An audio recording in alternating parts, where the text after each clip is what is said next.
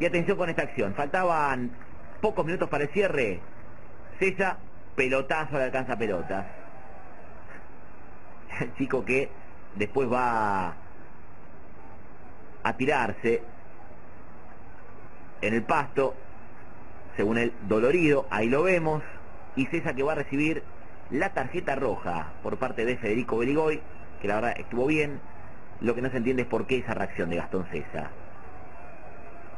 Metiéndole ese pelotazo al alcanza pelotas.